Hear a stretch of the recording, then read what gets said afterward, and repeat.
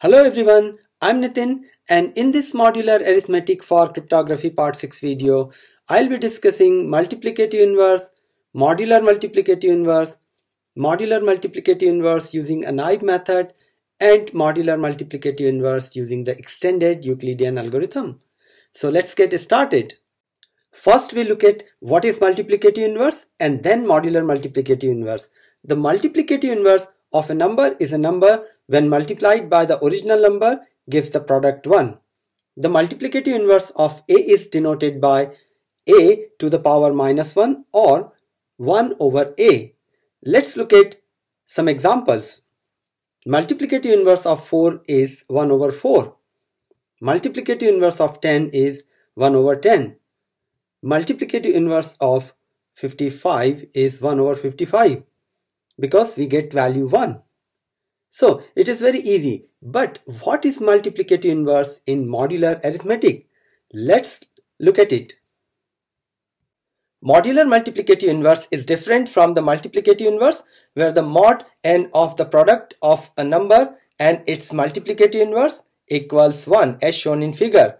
Let's look at an example. Here a equals 2 and n equals 5 and we need to find the modular multiplicative inverse of a. Write values in the above relation. Let's assume t equals 3 and calculate the mod. Now 6 mod 5 is 1 which is the condition as illustrated in our diagram therefore 3 is the modular multiplicative inverse of 2. So how we define it? If n be a positive integer and a be an integer that is co-prime to n then the modular multiplicative inverse of A is an integer t which satisfies the relation A times t mod n equals 1. Let's look at a simple method to find the modular multiplicative inverse. A naive method to find the modular multiplicative inverse t of a given number a is to consider all numbers in range 1 to n minus 1 and then check if each number whether it is the modular multiplicative inverse or not by calculating its mod which we are going to apply here. In this example if n equals 11 a equals 4 then find the modular multiplicative inverse t of a. First, find the GCD of 11 and 4, which is 1. Therefore, n and a are co-prime. Then, find the modular multiplicative inverse t of a, which satisfies the relation a times t mod n equals 1. Here, we start with the value of t equals 1, 2, 3, and then check which number satisfies the relation 4 times t mod 11 equals 1. So let's check t equals 1. 4 times 1 mod 11 is 4. Now let's check t equals 2. 4 times 2 mod 11 equals 8. Then check t equals 3. So 4 times 3 mod 11 equals 1. Find modular multiplicative inverse using the extended Euclidean algorithm which is an efficient method. So how we are going to calculate the modular multiplicative inverse t? Using the extended Euclidean algorithm with Bézout's lemma or identity where we will find the Bézout's coefficients s and t. So why we are finding Bézout's coefficients s and t? Because the integer t guaranteed by Bézout's lemma is the multiplicative inverse of a modulo n. That is a times t mod n equals 1. This is the reason we are using this method to calculate modular multiplicative inverse t. I've already explained Bézout's lemma, Euclidean algorithm and extended Euclidean algorithm in the previous video. Here we are going to perform the complete calculation based on the extended Euclidean algorithm into two parts because it is easy to understand the complete computation and separate the extended Euclidean algorithm from the standard algorithm. In part 1, we'll compute GCD of n and a using the standard Euclidean algorithm and verify whether the GCD is 1 or not. If GCD is 1 means n and a are co-prime and we can move on to the part 2 to find multiplicative inverse. If the GCD is not 1 means n and a are not co-prime and we cannot find multiplicative inverse so we'll not do part 2. That is the extended Euclidean algorithm.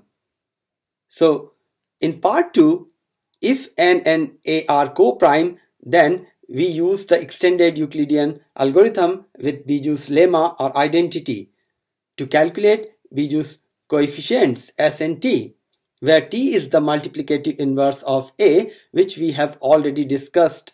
Why? Now we can verify the value of t in the relation x times t mod n equals 1.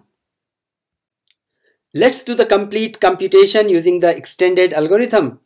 Start with the first part, find the GCD of n and a using the standard Euclidean algorithm which I've already explained in the previous video but we'll do it again to compute the GCD of n and a and write the division of n and a in the form of Euclidean algorithm n equals q times a plus r. But here we, we also need to rearrange the equation to make the remainder 11 as the subject.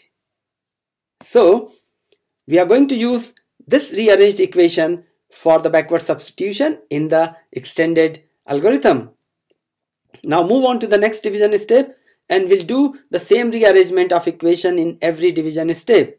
Next division step and finally we have got the GCD equals 1 which shows the two numbers n and a are co-prime and this satisfied the required condition to calculate the multiplicative inverse of a.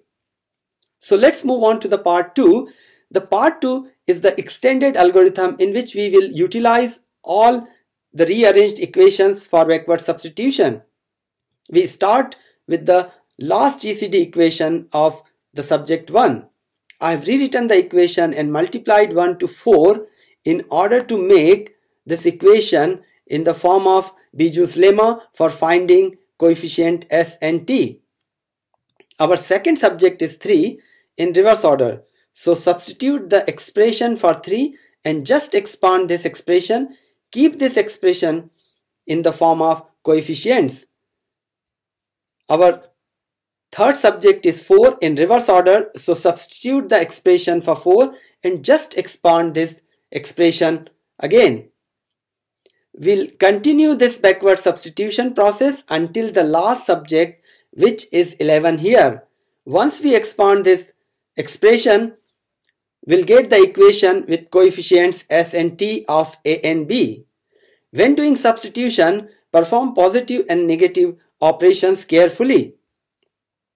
Finally, we can verify the value of t in the relation a times t mod n equals 1 which is true so the multiplicative inverse value is correct.